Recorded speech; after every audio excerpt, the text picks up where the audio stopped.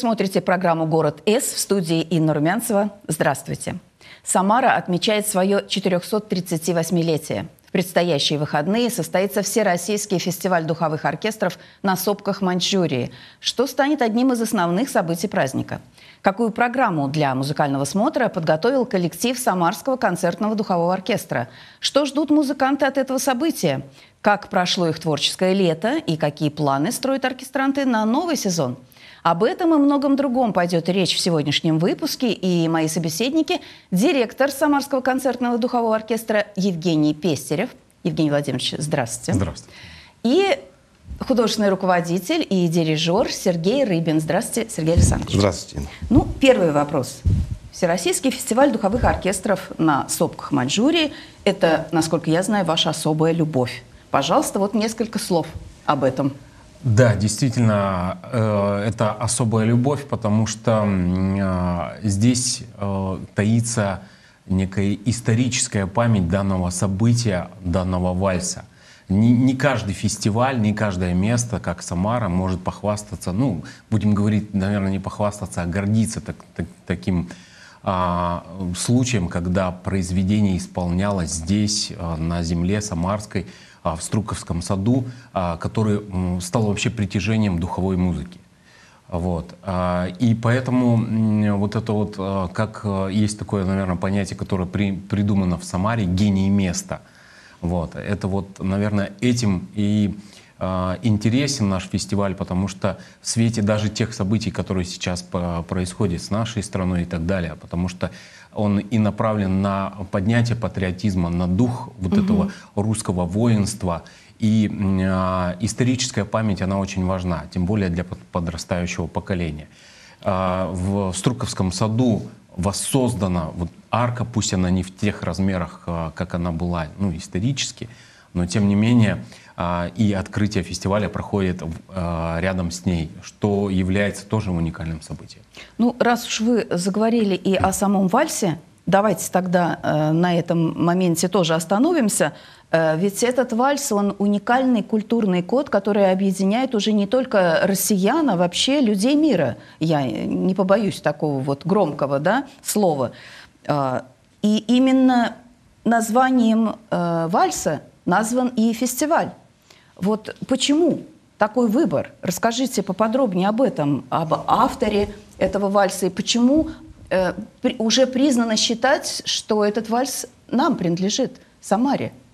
Действительно, вот, э, как вы сказали, культурный код этого вальса, он э, разошелся по всему миру, и это такая же узнаваемая мелодия, как и подмосковные вечера, как и «Катюша», которая популярна практически и известна практически во, в каждой стране мира.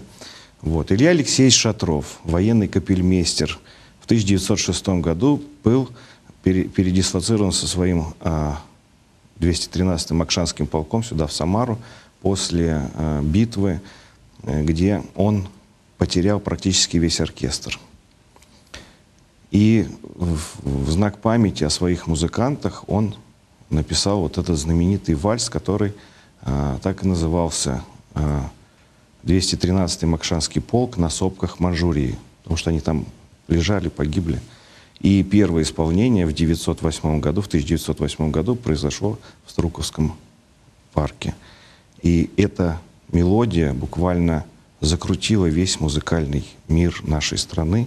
И пластинки с записями этого вальса разошлись многомиллионным тиражом по всей э, тогда еще царской России. Э, после этого э, вальс немножко ушел в такое забытие, но э, после, наверное, в 60-х, 50-х годах прошлого века вальс родился заново. И это стала настолько популярная мелодия. И, наконец-то, вот в 2013 году, так сказать, случилась справедливость, и наконец-то родился фестиваль, посвященный этому прекрасному вальсу, прекрасному культурному, а, так сказать, коду, как вы сказали. Да, и, и духовой музыки в целом. Да. Ну, э, расскажите, какова роль вашего коллектива в организации фестиваля? Ведь вы принимающая сторона, я догадываюсь, что очень много э, хлопот связи да, с этим? Действительно. Кроме творческих непосредственно. Здесь я, наверное, как раз и об организационных и расскажу. То есть эм, большая, конечно, творческая работа, потому что организовывать российский фестиваль, ну и простой фестиваль это немного, ну так скажем, разные весовые да. категории. Вот. А у нас в этом году, а, ну и вообще э, приезжают достаточно а, много коллективов. Угу. Вот. То есть если говорить вообще про общее количество, у нас 12 коллективов. Вот. И а, в свете, так скажем, событий, которые происходят, не все могут, ну, тоже, так скажем, похвастаться таким количеством таких хороших, именитых, именно количеством таких коллективов. Вот. Организационная работа очень большая. А, то есть, э, если говорить быстро и кратко, ну, проживание, питание, это, конечно, мы полностью обеспечиваем, потому что это профессиональные коллективы. Но ну, вы вот. ведь встречаете, наверное, да. уже не просто коллег, а друзей, потому конечно, что год от года конечно, вы с ними встречаетесь. Конечно. И мы, это радостные встречи. Мы их видели в этом году. Да. Я вот, э, Сергей Александрович в этом году больше, так скажем, меня э, путешествовал и был на гастрольной деятельности. Я как раз, а, ну, к сожалению, не был в Уфе, но здесь много организационных вопросов. Угу. То есть это и сувенирная продукция, которой мы, а, так скажем, Самарская земля славится. Это в этом году мы а, не только каждому брелок, так скажем, ну такой именитый угу. брелок, который не купишь в магазине с логотипом фестиваля, а еще и буклет очень фестивале. красивый да, буклет каждом... с изображением этой пластинки. С пластинки, в котором... Вальс в... на сопках Маньчжурии, да? Да. И в... Все знаково в... так. В который а, вошло а, вот история вальса, история нашего оркестра, история, ну и а, описание всех оркестров, а, именно которые принимают участие. Вот, то есть работа продолжается организационная, и вот буквально э, сегодня с утра работали, сейчас от вас выйдем и будем дальше. Да, вот, завтра уже, уже гостей. Завтра уже гостей будем Я больше скажу, если раньше мы приглашали оркестра, то сейчас нам уже поступают заявки. Пожалуйста, можно мы примем участие в вашем фестивале? Это говорит уже о том, что фестиваль действительно вырос э, угу. до достойного уровня, и уже нам приходится внутренним каким-то художественным советом фестиваля выбирать, кто к нам едет, кто к нам нет. Да. И одной из изюминкой этого фестиваля, который пройдет в этом году, а, будет то, что у нас практически все оркестры — это оркестры, которые танцуют, которые двигаются во время игры, а не просто, как э, филармонический оркестр, сидит и играет музыку. Не статично. Да, Сплошные да. сюрпризы. Э, телекомпания ГИС всегда рассказывает о столь значимых для города событиях. У нас есть сюжет о том, как проходил фестиваль на сопках Маньчжурии три года назад. Давайте посмотрим, как это было.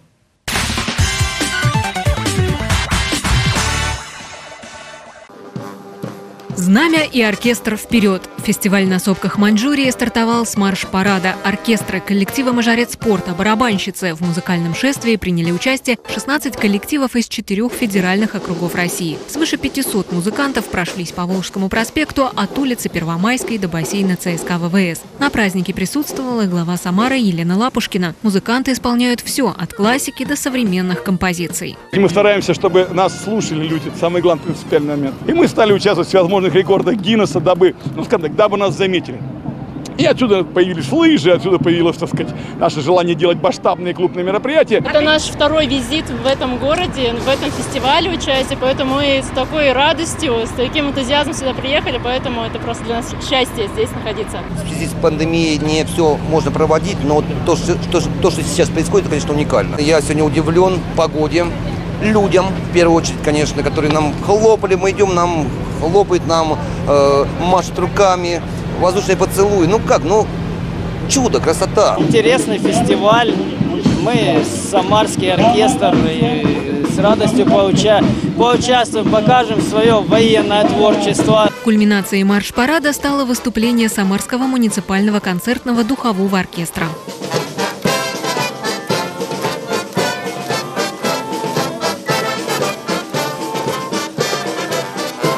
Все, по-моему, изумительные совершенно. Рощинский вообще уникальный. Поэтому тут выделить кого-либо очень сложно. Танцевали да, по кругу, красиво. Не, умеет только, не только играть, но еще и это, танцевать. Мне понравился Нижний Новгород, девушки из Нижнего Новгорода, и оркестр очень понравился. Да. Продолжился фестиваль уже вечером. Духовые оркестры выступали с концертными программами на различных площадках Самары.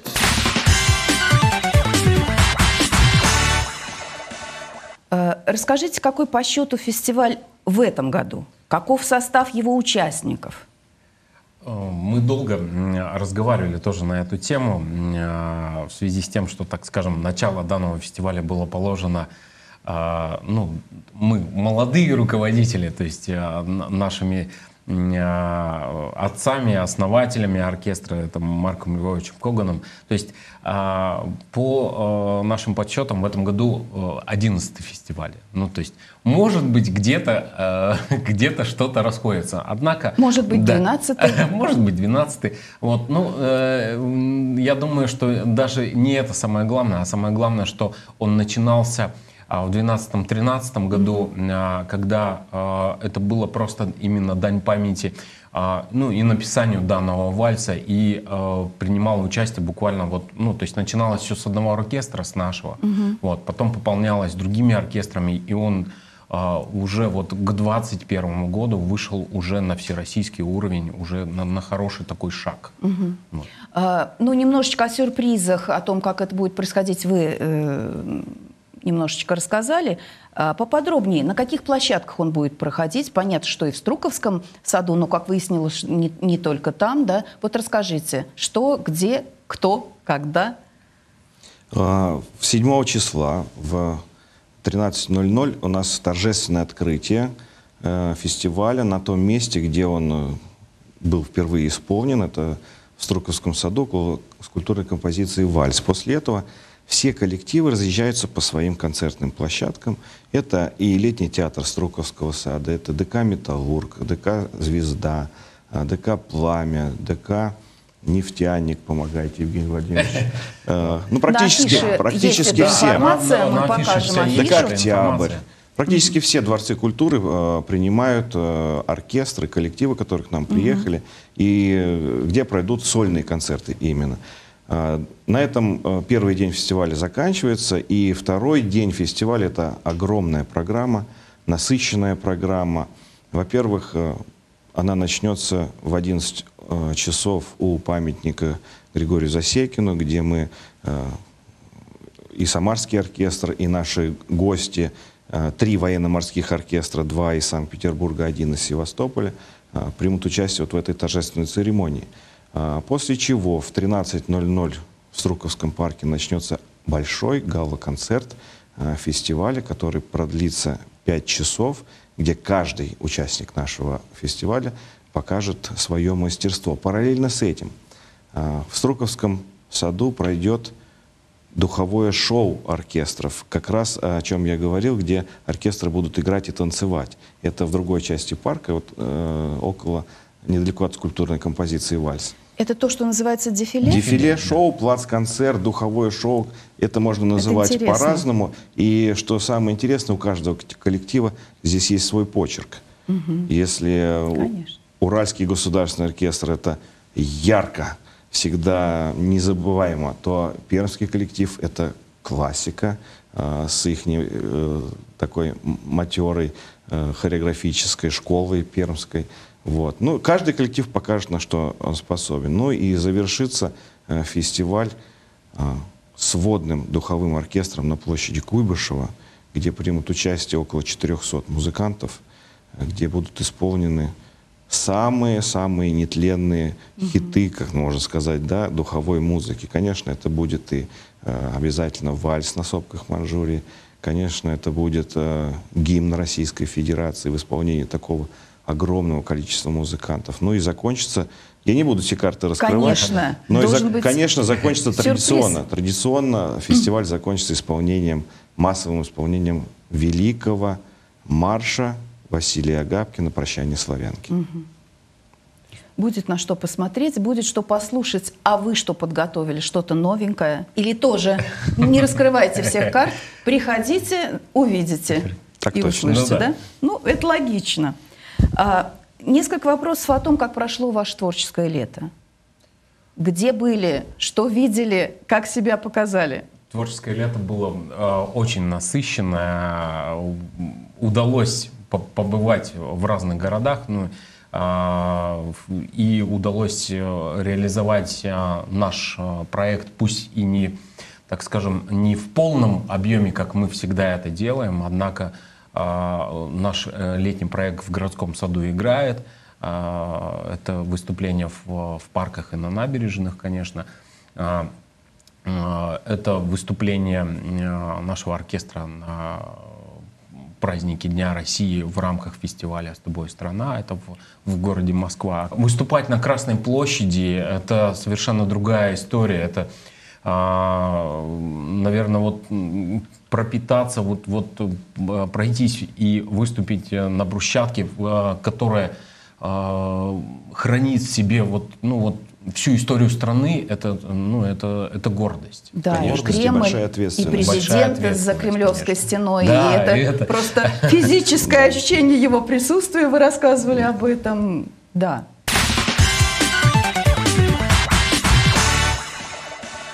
было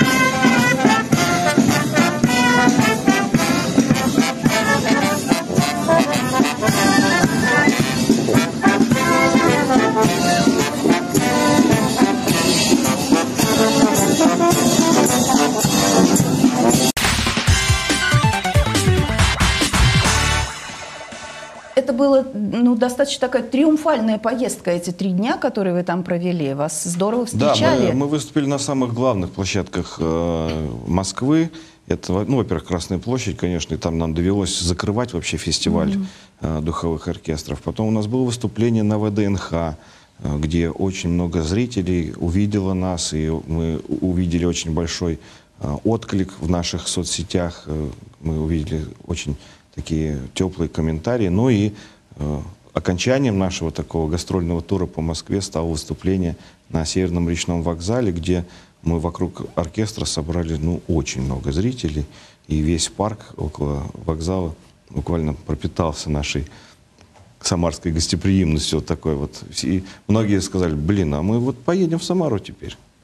Да, и вы говорили в прошлый раз, что москвичи э, говорили о том, да. что Э, сожалеют, что у них нет такого коллектива да. и нет возможности вот присутствовать на таких выступлениях.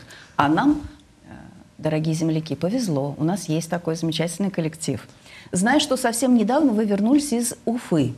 Что там было? Как все ну, прошло? Еще, да я добавлю, перед Уфой еще было много городов. А, еще Конечно, были, конечно. Да? Наш оркестр... Не в рамках да. фестиваля, да, да, да. но тем не менее... То есть после Москвы очень, что еще? Очень радостно, что о нашем коллективе уже стали узнавать в других регионах нашей страны. И вот э, буквально э, после Москвы сразу же, там буквально через две недели, мы поехали в город Вологду, где э, играли на дне города Вологда.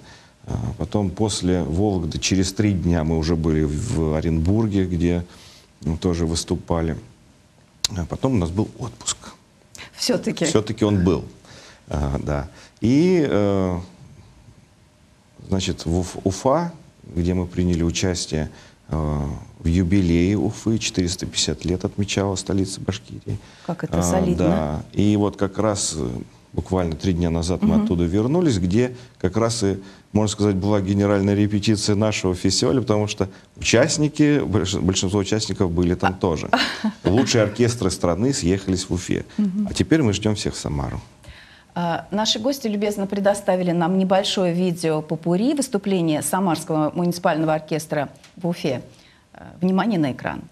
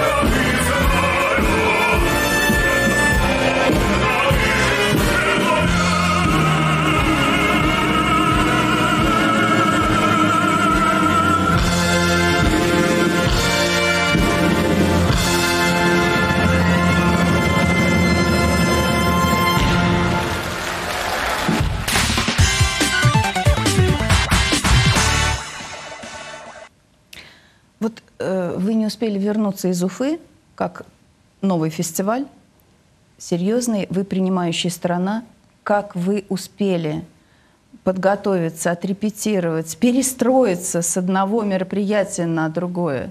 Ну, это такой, он э, организационный творческий процесс, и он идет параллельно, так скажем. Мы, у нас бывает, э, что и э, разделено и по репетициям, ну, наверное, Сергей Александрович тут больше добавит, угу. а, что в одной репетиции несколько сразу готовится. А если говорить о перестройке, ну, здесь приходится быстро, да, мы это хорошо, что есть опыт уже организации э, своего фестиваля, и мы видим, как коллеги работают, поэтому здесь огром, огромная работа, и э, благодаря поддержке э, вышестоящего руководства все, все это вот быстро приходится перестраиваться, очень быстро. Приходится и делать дополнительные репетиции, и дополнительно а, музыкантам отдельно, индивидуально заниматься.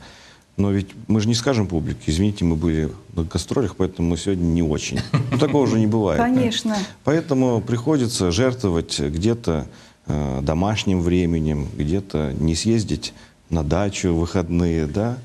Э, работаем, работаем, и плановая наша такая стратегия, когда мы знаем, что у нас через два месяца будет концерт определенный вот здесь, вот здесь, вот здесь, угу. конечно, заранее уже готовимся.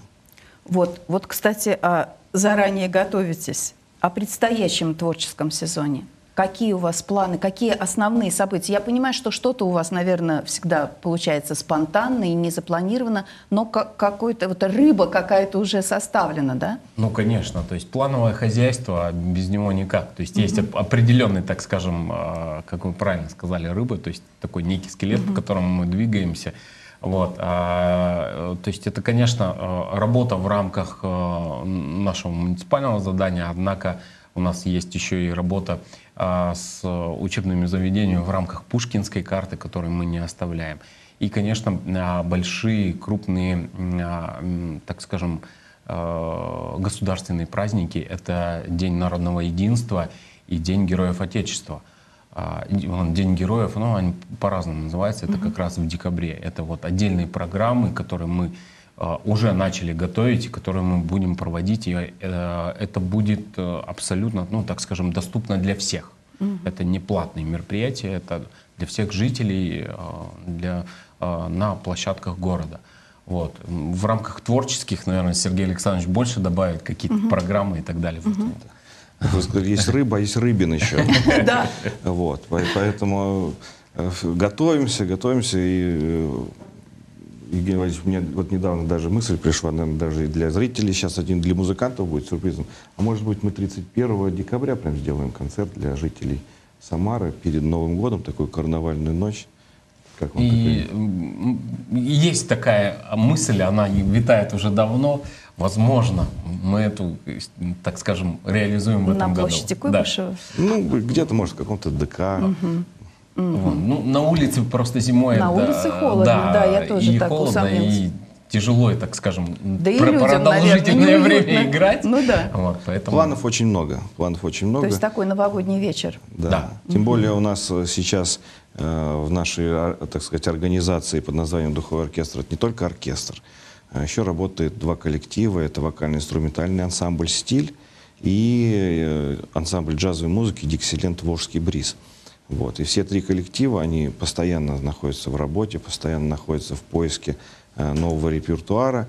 И вот э, что очень радостно, вот как раз отмечает и публика, что, что мы начали некую такую программную э, стратегию то мы, мы, мы начали работать программно. Вот буквально э, в этом году у нас несколько программ родилось. Это и э, программа Диксиленда, посвященная творчеству Леонида Утесова, который в следующем году будет э, отмечать э, юбилей свой, э, юбилейный год. Это и у нас появилась программа «Хиты рока».